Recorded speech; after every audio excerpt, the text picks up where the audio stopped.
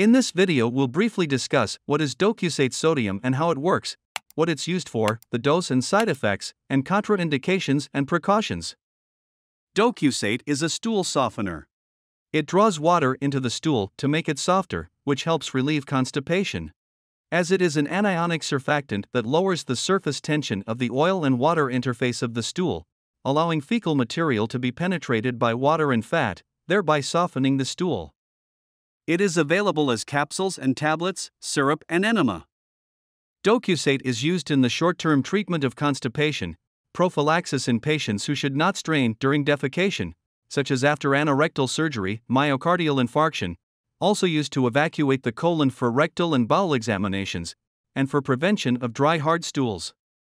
The usual oral dose of docusate sodium for adults and children older than 12 years is 50 to 500 milligrams, and for children from 6 to 12 years, the usual dose 40 to 120 milligrams, and for children from 3 to 6 years, 20 to 60 milligrams, for children younger than 3 years, 10 to 40 milligrams, in 1 to 4 divided doses.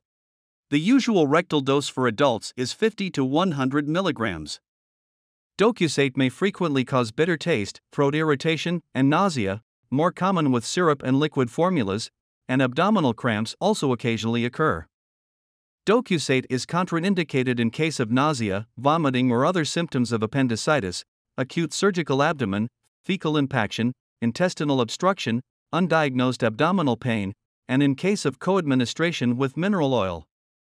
Do not take docusate for more than one week without follow up evaluation. Liquid forms may be mixed with fruit juice or milk to mask unpleasant taste. Incorporate high fiber foods in diet, increase fluid intake, 6 to 8 glasses daily, and increase or maintain exercise level.